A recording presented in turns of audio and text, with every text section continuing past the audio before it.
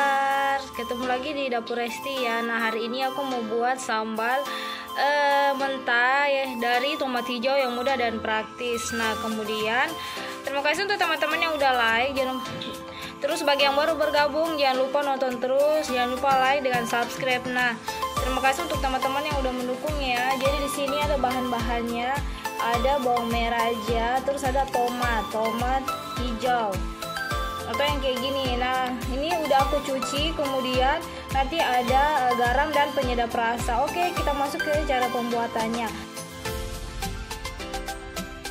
Nah cara pembuatannya adalah semua bahan ini kita potong-potong terlebih dahulu. Teman-teman tomat dan e, bawangnya yang udah kita potong selanjutnya kita masukin e, garam dan juga penyedap rasa ya. Kita masukin garam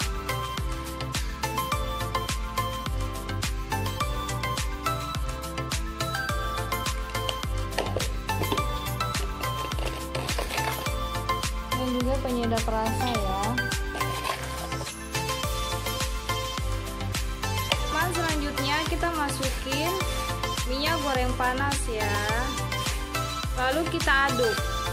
Setelah kita masukin semuanya kemudian kita aduk ya. Nah jadi deh. Mudah dan gampang kan sambalnya?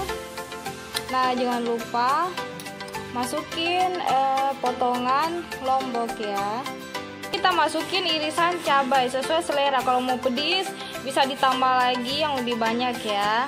Ini ya selanjutnya kita aduk semuanya. Ini kasih kayak gini. Tuh, udah aku aduk nih. Oke teman-teman ini udah jadi. Eh, jangan lupa like, komen, dan subscribe. Silakan teman-teman coba di rumah. Dan ini adalah hasil masakan aku tadi. Ada supaya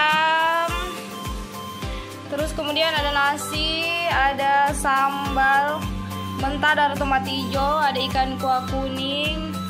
Sini ada ketimun dan ada ikan goreng. Jadi aku mau makan dulu. Terima kasih untuk teman-teman yang udah menonton.